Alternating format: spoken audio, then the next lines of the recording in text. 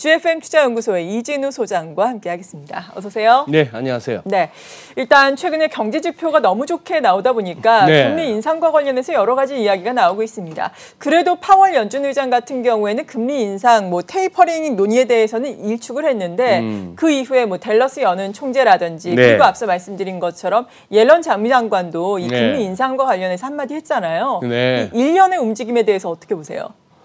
예, 지금 이제 어, 시장이 제일 신경 쓰이는 부분이 그거니까요. 결국 지표로 좋고 경기 회복세 뭐 실적 개선 다 이렇게 확인되고 있다 보니까 네. 이제 그렇다면은 언제까지 이렇게 돈 풀고 뭐 제로 금리 유지하고 하는 게 유지될 수 있을까가 이제 관건이죠. 이제 그것과 관련해서 특히 어, 이틀 전에 어, 제니 옐런 재무장관 아직도 많은 분들이 이렇게 방송하시는 거 보면 옐런 의장 입에 아, 붙어가지고 맞아요. 예. 음, 저도 뭐 그럴지도 모르겠습니다만 그래서 그런지 또 이제 밤 사이에 또 벌떼같이 일어났어요. 또 연준 네. 인사들이 너는 할 것 없이 일련의 흐름을 한번 보시죠. 자, 이거 한번 보십시오. 첫 번째 슬라이드는 제롬 파월 연준 의장 지금 제목 보세요. 금리 인상을 생각하는 것조차 생각하지 않는다. 말이 좀 묘한데 지금 이 이거 보시면은 2020년 6월 9일하고 10일 이틀 동안 있었던 자, 369, 12 요때의 FMC는 늘 중요합니다. 네. 그러니 작년 6월 달에 FMC 회의하고 나서 지금 이런 그 모습이었는데 옆에 이제 기사 제목 보세요. We're not even thinking about thinking about raising rates. 무슨 말장난 비슷하게 금리 인상을 생각하는 것조차 생각하지 않는다 이랬습니다. 자, 그랬더니만 지난 지, 어 지난달 저몇 2주 전이었죠. 4월 28일 날 그때 네. FMC 때 어, 끝나고 나서 기자회견 첫 질문이 기자가 그렇게 얘기합니다.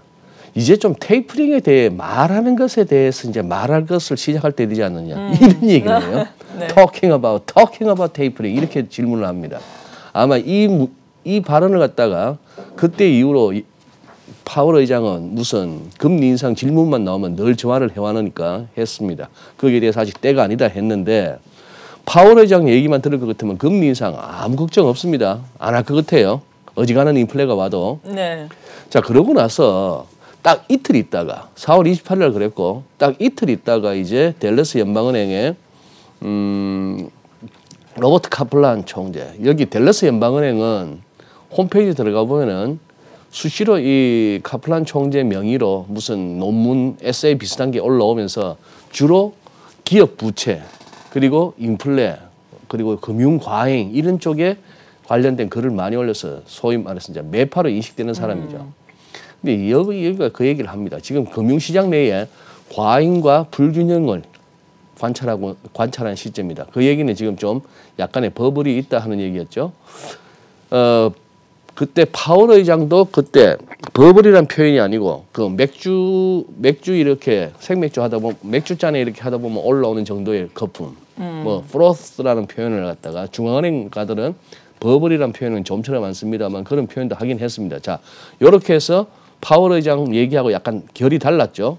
결이 달랐는데다가 그리고 그저께 4일날 제닛 옐런 재무장관이 어틀랜틱지라고 하는 그 시사지하고 인터뷰하면서 이 얘기를 했습니다. 지금 어, 표현을 잘 보셔야 됩니다. 금리 인상을 갖다가 한다는 게 아니고 rates may have to rise somewhat. 금리가 어느 정도 올라야 할지도 모른다 이렇게 표현을 한 거예요. 네. 시장 내의 금리가 이것은 이제 경제를 오버히팅 과열로부터 이렇게 좀 막기 위해서는 그 얘기를 했습니다. 자 금리가 어느 정도 올라 버리면은 결국 기준금리도 오를 수밖에 없겠죠 궁극적으로. 그래서 아 이게 뭐냐 하는 이제 얘기가 나와서 그날 이제 사- 장이 좀 많이 밀렸죠. 어제 우리 어린이날로 안 쉬었더라면은 조금 타격을 받을 수도 있겠어요. 그렇죠. 네 그런 정도였는데 그러고 나서 바로 그날 또 해명성 발언을 합니다. 이런 식이에요. 그 다음 슬라이드 보시면은 내가 그렇다고 해서 무슨 금리가 금리가 오를 것이라는 것에 대한 어떤 예상을 하거나 뭐 그, 런 것도 아니고 그리고 연준이 그렇다고 해서 기준금리를 올려야 하는 필요가 있, 필요가 있다고는 보지 않는다. 네. 이런 식이에요. 이제 해명성 발언을 했습니다. 자, 우리 한국경제신문에서는 이렇게 기사를 헤드라인을 잡았어요. 경제수장 금기를 깨고 금리 정책을 언급했다. 이 금기라는 것은 재무부 장관은 금리 관련해서는 특히 정책 금리 관련해서는 얘기하지 마라 이거예요. 음, 그렇죠. 네. 연준의 독립성을 또 얘기를 하는 거죠. 반면에 연준 쪽에서는 환율 갖고는 얘기하지 마라. 음. 그거는 재무부 쪽 네. 관할이니까 이런 얘기인데 결국은 미 경제 과열 조짐이다 하는 그 얘기였고 권고는 아니고 또 내가 예측하는 것도 아니지만 이렇게 진단은 나서지만 시장은 좀 반응했다 이런 얘기입니다. 한국 경제 그때 계속 그래픽을 이렇게 올려놨는데 이런 그래픽을 보고 있자면은 사실 파- 어, 제닛 옐런 장관의 말이 누구나 다 마음속에 이렇게 한켠에 생각하고 있는 그거 갖다가 그냥 공식화했을 뿐이죠. 자 소비자 물가지수 뭐 CPI 같은 경우 작년 대비 벌써 2.6%까지 올라왔죠. 그리고 뭐 이런 식으로 경제 성장도 계속 좋습니다. 돈은 이만큼 풀고 있고요. 인플레 압력은 갈수록 커지고 있는 거고. 그 다음에 이제 결국 겁을 내는 거는 이렇게 했을 때 미국이 궁극적으로 금리가 시장에서 먼저 오르기 시작하고 기준금리 오르면은 신흥국에서 자금 빠져나가는 거 아니냐. 이걸 걱정한다는 얘기인데 오죽하면 백악관 젠사키 대변인까지 나섰습니다. 여, 트럼프 대통령 때 그 대변인하고 자꾸 비교가 되고 본인도 스트레스가 많을 텐데 네.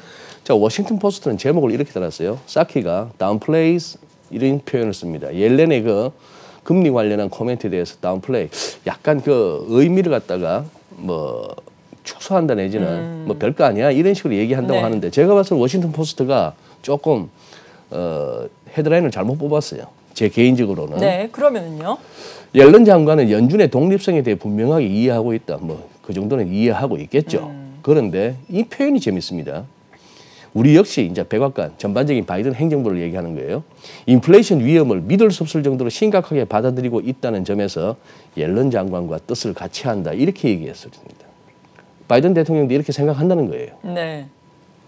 옐런 장관 말에 일리가 있다는 얘기입니다. 그렇게까지 나왔는데 뭐 이렇게 해명한다고 나왔던 게 오히려 그런 식이어서 오히려 패드 워처들 중에는 이 말이 뭐지? 오히려 신경 더 쓰이는 거예요. 네. 자 그랬더니만 이제 어제 막 벌떼같이 나왔던 중에 기사를 준비하던 새벽 뭐 한 한시 무렵에 제가 파악했던 거는 시카고 연방은행 총재 찰스 에반스 대, 대표적인 비둘기죠. 지속적인 인플레 고조 가능성은 희박하다. 이런 얘기. 그 다음에 뭐 리차드 클라리다 연준 부의장 거기다가 뭐 에릭 로젠그렌 보스턴 연방은행 총재, 존 윌리엄스 뉴욕 연방은행 총재, 거기다가 로레타 메스터 매파라고 여겨졌던 클리브랜드 연방은행 총재까지 똑같은 말을 합니다. 내용은 전부 그거예요. 네. 인플레이션 일시적이다. 일시적일 것이다. 뭐 이런 식으로 얘기를 해, 해서 하는데 자 어쨌거나 지난 4일날 어제 말고요. 4일날 나스닥 100 흐름인데 개장하고 이 10시 30분이니까 우리 시간으로 우리 시간으로 자 이제 이렇게 했을 때 보니까 결국 시작하면서부터 좀 그날은 흘러내렸어요. 그러네요. 그리고 옐런 재무장관 발언이 알려지고 나서 좀 더 밀렸습니다만 사실 마감 지수는 옐런 발언 그 시점보다 조금 더 올라왔죠. 그래서 시장이 이렇게 밀렸습니다만 꼭 옐런 때문이었나 이 생각도 한번 해보게 됩니다. 예. 네, 그렇군요. 아무튼 이례적으로 제넷 옐런 재무장관이 금리 인상에 대해서 발언을 하고 좀 수습하는 양상이 나타났었는데 이 연준 의장이었을 때도 음, 그때 네. 당시에는 정말 금리 인상이 이루어졌었잖아요. 이, 이루어졌죠. 어, 그리고 그때도 사실 연준 의장이 된 지 얼마 되지 않았을 때 참 이례적으로 금리 인상 시기와 관련해서 또 이야기를 해서 시장에 충격을 주지 않았습니까? 예, 예. 네, 그때도 또 되짚어보면 좋을 것 같아요.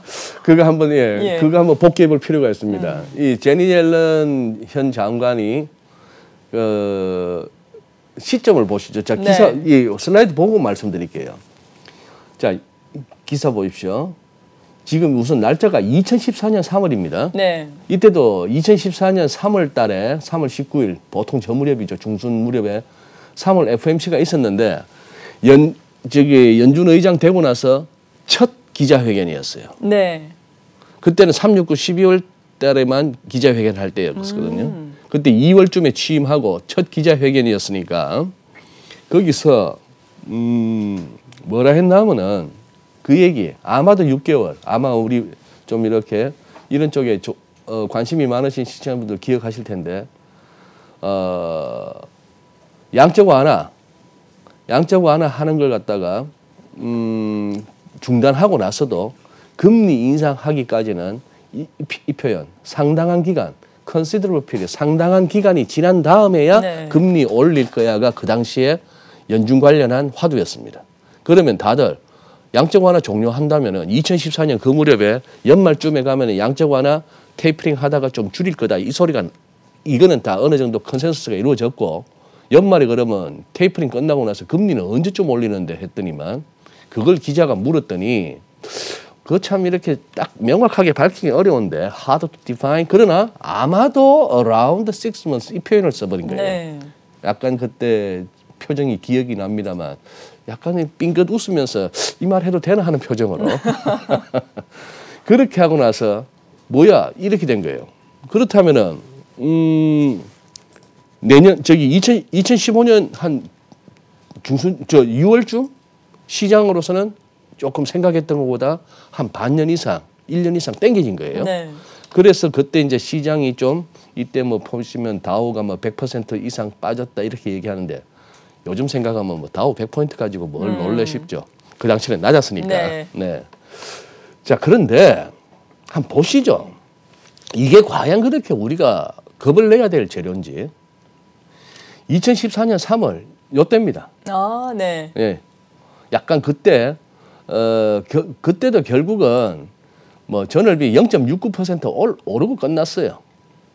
그리고 그 이후 큰 흐름을 보셨을 때 무슨 뭐 일시적으로 하루 이틀 뭐 충격은 있었습니다만 그거 했죠. 자, 그다음에 미국 10년물 시장의 금리는 어쨌나 2014년 3월 달에 그때 그 옐런 의장의 아마도 6개월 뒤부터 했던 그 발언이 있었던 그때도 별 큰 뭐 금리가 위로 뛴다든지 하는 그런 양상 없었습니다. 그러네요. 오히려 2013년 2013년 이때 5월 2013년 5월 어 이게 이게 예 2013년 5월 이게 그렇죠 요거 이때는 금리 자체가 27%한 달 동안에 뛰어 올랐고 그 다음에 6월 달에 또 뛰어 올랐는데 2013년 6월 달에 당시 옐런 전에 버냉키 입에서 저- 그, 그 얘기가 나왔단 말입니다. 양적 완화를 갖다가 이제 줄여나간다. 테이프링 얘기 처음 나와서 우리 기억하는 tapering tantrum입니다. 오히려 tapering이 그 당시에 더 시장에 더 충격을 줬었다는 얘기죠. 그런데 이제 지금 음 그러다 보니까 지금 이제 일단은 그거 합니다. 어제 그 많은 연준 인사들이 나와서 이렇게 하는 얘기를 갖다가 네. 쭉 이렇게 지금 오면서 정리를 해보니까 제가 받은 느낌 이거는 무슨 지령이 내려온 것 같아요. 아, 그, 그 나름대로 다 똑똑한 양반들인데 예.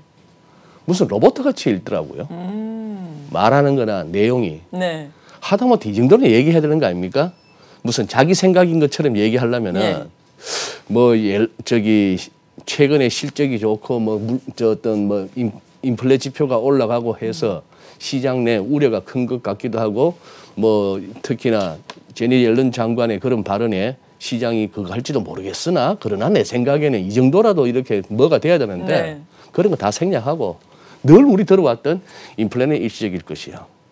아, 예. 뭐 이런 얘기 그리고 뭐 이 연준의 완화적인 정책은 계속 필요하다고 생각해 이런 식입니다. 그래서 아 뭐 저기도 그냥 어디서 뭐가 하나 내려왔구나 뭐 정도로 그냥 받아들이고 다만 한 가지 네. 분명한 거는 그겁니다. 일련의 흐름에서 우리가 생각할 수 있는 것은 시장 내의 과잉, 금융 과잉, 음, 약간의 오버히트, 오버히팅 여기에 대해서는 다들 지금 조금씩 겁을 내는 겁니다. 아, 맞아요. 그래서 사상 예. 최고치 경신이라고는 하지만 네. S&P 500 2포인트 남주도 오르고 사상 음. 최고치 경신. 다우지수도 장중 고점보다는 좀 밀리면서 또 올라가고 네. 그 와중에 기술주는 제일 이 금리 인상 궁극적으로는 언젠가는 올 텐데 거기에 대해서 제일 기술주들이 취약하고 그런 양상입니다. 네. 이렇게 고점에 대한 부담감이 있는 가운데 앞서 말씀드린 것처럼 이렇게 또 말씀을 해주신 것처럼 금리 인상에 대해서 또 인플레이션에 대해서 또 이야기가 분분하게 나오고 있는 것이 경제 지표들이 너무 좋기 때문 그러니까요. 아니겠습니까? 네. 특히나 또 이번 주말에 발표되는 고용 지표 눈여겨 보고 있는데 최근에 발표되고 있는 고용 지표도 너무 좋잖아요. 좋아요. 예. 그래서 늘 해마다 매월 네. 첫 번, 첫째 주 금요일 날 발표되는 고용 지표 늘 뭐 이렇게 이코노미스트는 중요하다 중요하다 합니다만 이번 달엔 특히 중요한 것은 지표 자체가 좋고 나쁘고도 중요하지만 제가 봐서는 그것을 보고 나서 시장이 어떻게 반응하는가가 더 중요하다고 저는 생각합니다. 네. 우선 간략하게 보시면 난판 페이롤 소위 말하는 비고용 지표 91만 6천 개 지금 90만 개 이상씩 나오죠. 거의 100만 개 가까이 일자리가 회복되고 있습니다. 그래도 아직까지도 이때 작년 4월 달에 2천만 개 날라간 이후로 회복됐다 해도 아직도 800만 개, 850만 개 아직까지도 회복 안 됐다는 얘기죠. 자, 이런 상황에 실업률은 보세요. 작년 3월, 2월 그때 3.5% 역대급에서 그냥 한 달 사이에 14.8% 갔다가 6%까지 왔는데 이게 아마 이번 주 이- 토요일 금요일 날 5%대로 내려오고 이것도 마찬가지로 90만 개 때 뭐 지금 시장 예측은 97만 개까지 올라갑니다만 100만 개 정도 가서 파월 의장이 말했던 지난 3월 같은 고용 지표의 개선을 나는 좀 더 보고 싶다. 이렇게 얘기했는데 그런 상황이 됐을 때 네. 어떻게 될지가 궁금합니다. 지금 이제 ADP 민간 고용 감사에 발표됐어요. 시장 예측보다는 조금 못합니다만 이거하고 저기 이른바 난팜하고는 좀 엇갈릴 때가 많으니까 실제 결과를 보시죠. 보시는데 보고 나서 그거예요. 자 지금 확연하게 보이다시피 나스닥은 지금 이 이중 천정의 부담감을 느끼고 있는 겁니다. 근데 여기서 이제 고용 지표가 좋게 나왔을 때 그렇다면 일감으로 생각할 수 있는 게 뭐냐면은 아 그러면 파월이 보자고 했던 고용 지표의 개선이 계속 이어지네 진짜 이런 식으로 아니면은 경기가 진짜 좋아지네 과열될 양상이 있네 그렇다면은 아우 옐런 발언이 다시 신경이 쓰이네 해서 장이 안 좋게 가면은 이거는 이른바 good is bad예요. 네. 실적 좋고 지표 좋으면 장이 못 가고 오히려 나쁘면은 돈 더 풀 거야. 금리 더 계속 유- 낮게 유지할 거야로 가는 bad is good. 그 논리가 나오라는지. 어, good is good를 가주는 게 좋습니다. 지표 좋고 실적 좋으면 장이 가주는 게 좋은 거예요. 그게 아니고 좋게 나왔는데 장이 빠지면은 이거는 이제 부대 낀다는 얘기입니다. 이제 그런 식으로 한번 살펴봐 주시고 테슬라 궁금하죠 뭐. 요렇게 지금 촘촘하게 모이지 않습니까? 5일, 20일, 네. 60일, 120일 모여 있는데 지금 뭐 670불 근처에서 마감했습니다만 얘는 뭐 어쩌다 보니까 코인, 비트코인하고 지금 등락을 같이 하는 비트코인도 재밌어요.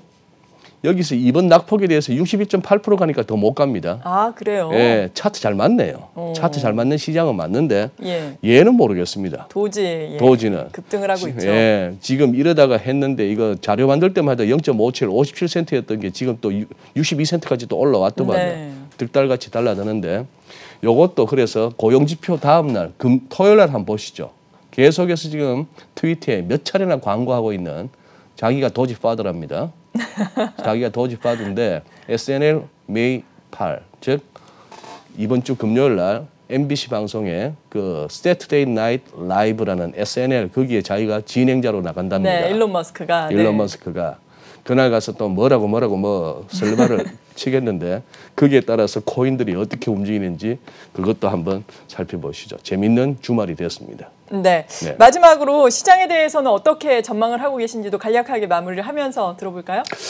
예, 한번 뭐 지금 뭐 지- 시- 시- 인도부터 인도만 몇 개만 이렇게 아, 압축적으로 네. 말씀드리면은 자 인도 지금 이 코로나 갖고 난린데 이 확산세 확진자 숫자 보세요. 지금 인도 어떨지 한번 살펴보시죠.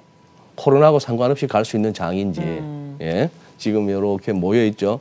그리고 오늘 이제 노동절 휴일 끝나고 이제 중국이 열립니다. 네. 중국도 어떨지도 좀 궁금하고요. 그런 상황 하에 우리 코스피는 뭐 여러 가지 아직도 두 가지 가능성이 있습니다. 지금 5월 달에 온갖 별의별 소리 다 나오고 공매도까지 엉켜가지고 뭐 하루하루 오르났다 내렸다를 뭐로 설명할지 모르는 그런 장이 왔는데 워낙에 빳빳하게 위클리에서 올라오고 있어서 잘 안 밀릴 것 같기도 하고 이왕 온 거 기어이 3,300 찍고 나서 고민해야 될지도 모르겠고 그러나 장은 이 divergence 만드는 가운데 어디까지 갔다가 그거 할지 그런 상황입니다. 그런 상황인데 어 지금 뭐 아마 혼란스러우실 거예요.